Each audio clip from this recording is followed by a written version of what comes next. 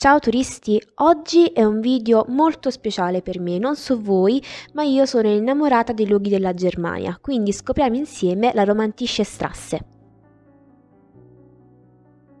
Romantische Strasse, anche detta molti Romantisch Strasse, in italiano strada romantica, è uno dei percorsi più belli della Germania e il percorso turistico più visitato nel mondo.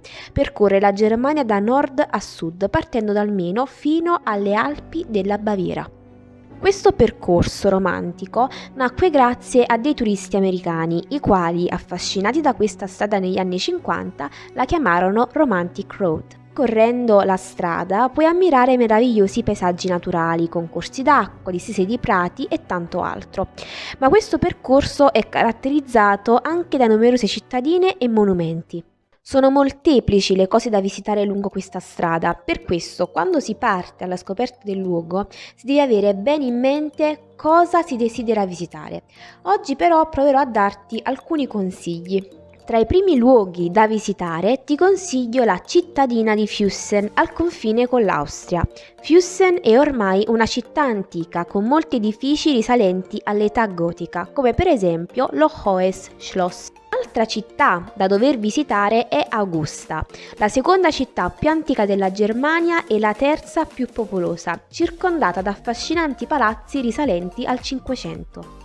Continuando poi il nostro percorso, un'altra città importante è Rothenburg, una piccola cittadina medievale considerata una delle più belle dal punto di vista turistico. Quando arrivi in questa cittadina ti consiglio di fare il percorso lungo le mura medievali della città, dove scoprirai le stradine e i palazzi della città ma dall'alto. Un'altra cittadina bellissima da visitare è Würzburg, situata lungo il Meno. Oltre ad essere molto antica, è stata anche sede vescovile ed è oggi una città universitaria. Tra le principali attrazioni trovi la residenza, patrimonio dell'umanità. Pensa che Würzburg fu rasa al suolo ben due volte, una volta durante la storica guerra dei trent'anni e una seconda volta durante un bombardamento della seconda guerra mondiale.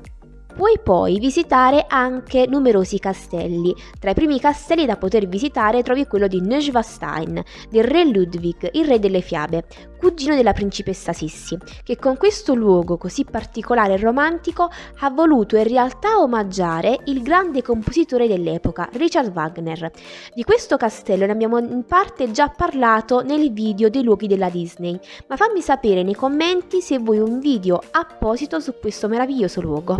Troviamo poi altri due castelli, il castello di Schillingsfürst, situato nella Baviera su una montagna. All'interno i turisti possono visitare il giardino del cardinale e la chiesa romanica con le finestre gotiche. E poi trovi anche lo Schloss Balden che conta la più grande collezione di armi in Germania. Hai mai visitato qualche luogo della Romantische Strasse? Fammelo sapere nei commenti. Se vuoi scoprire altri contenuti, seguimi sulle varie pagine social. Mi trovi su Facebook, Instagram, TikTok, YouTube e Pinterest. Nella descrizione trovi vari link per le varie pagine social e per il mio sito web. Sappi che con il prossimo video andremo alla scoperta di una collezione privata, la collezione della scuola di Posillipo.